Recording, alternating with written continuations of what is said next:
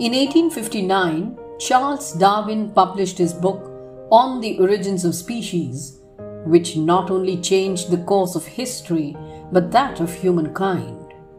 Ever since humans came into existence, it was believed that life on earth was due to the grace of the divine. But it was Darwin who first gave the theory of evolution and redefined the origin of human beings on the planet.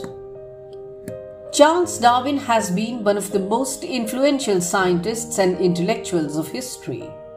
However, living in Victorian England, his theories have been tainted by the racial and sexist attitudes of that period.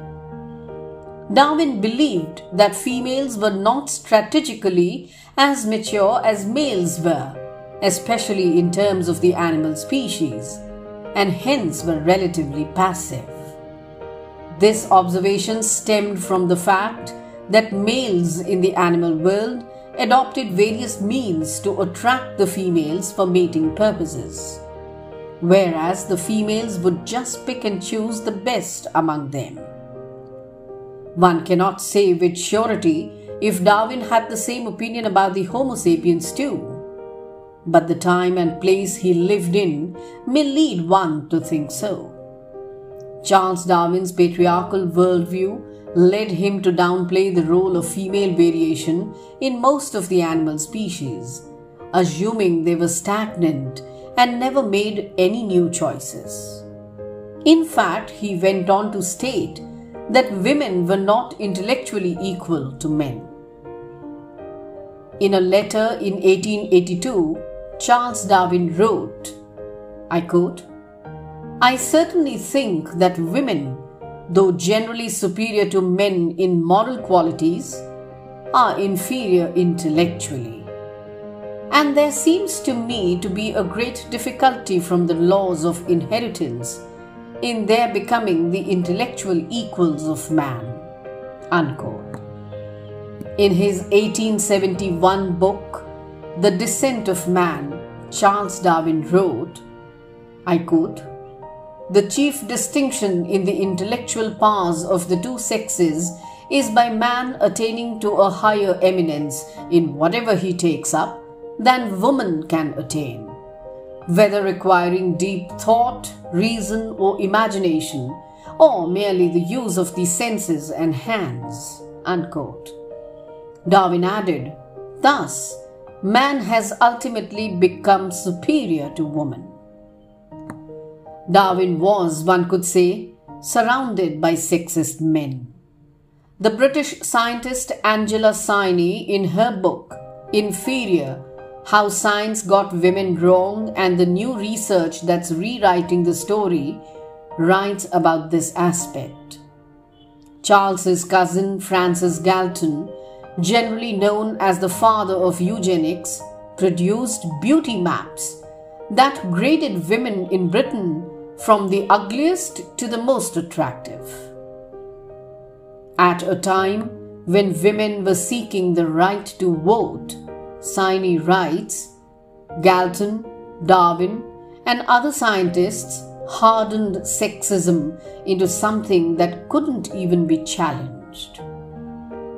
Darwin's humanitarian attitude and portrayal of his loathing of slavery were a fundamental influence on his view of human evolution. However, he was seen embracing racism and even racial extermination in his work. Despite being opposed to slavery, he saw genocide as a progressive force in human evolution. In his book The Descent of Man, published in 1871, Darwin claimed, I quote, at some future period, not very distant as measured by centuries, the civilized races of man will almost certainly exterminate and replace throughout the world the savage races. Unquote. Darwin was a troubled man and suffered from severe emotional problems for most of his adult life. Darwin wrote about his mental and physical problems extensively. For example, in 1875, he wrote to fellow scientist Robert Hooker, I quote, You ask about my book, and all that I can say is that I am ready to commit suicide. I thought it was decently written, but find so much wants rewriting. I begin to think that everyone who publishes a book is a fool. Unquote. Darwin had frequent episodes of panic attacks due to suffering from agoraphobia and also exhibited traits of OCD. He frequently discussed his health problems in his letters and in his autobiography. He once wrote, I am forced to live very quietly, and am able to see scarcely anybody and cannot even talk long with my nearest relations. Unquote. Darwin once complained that speaking for only a few minutes to the Linnean Society brought on 24 hours vomiting. In some ways, one could describe Darwin as having sadistic impulses as well. In the 1958 edition of his autobiography, published by his granddaughter Nora Barlow on page 44, an incident described provides us with an insight into this aspect.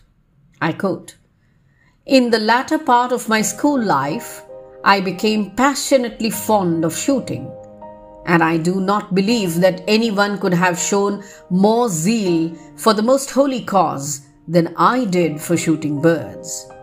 How well I remember killing my first snipe, and my excitement was so great that I had much difficulty in reloading my gun from the trembling of my hands.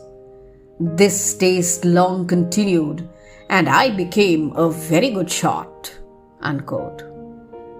The fact that his hands trembled with excitement for having killed his first bird could perhaps indicate a sadistic streak in Darwin.